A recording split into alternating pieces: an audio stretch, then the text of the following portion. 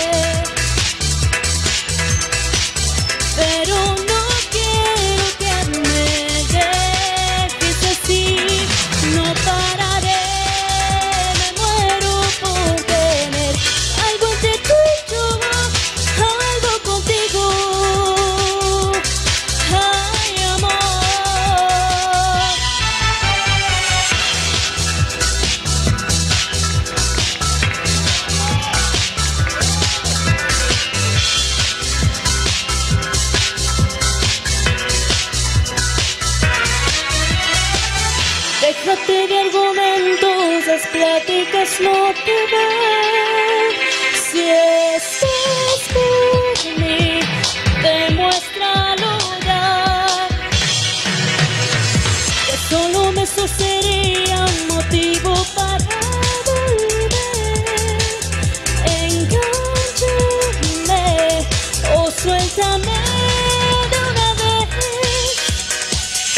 Amor, ya ves que me faltas tú. Y ahora te falto yo. Desátame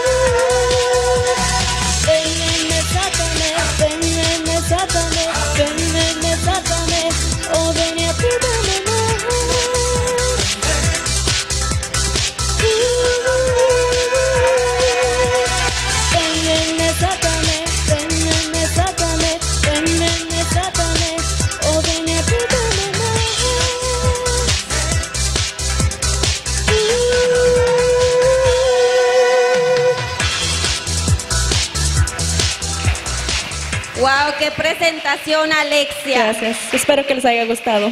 Así es. Ella se siente muy contenta de pertenecer a la voz de mi raza de reality show. Siente que es una oportunidad que le están dando todos los maestros y está muy contenta de compartir su tiempo aquí con gente tan talentosa.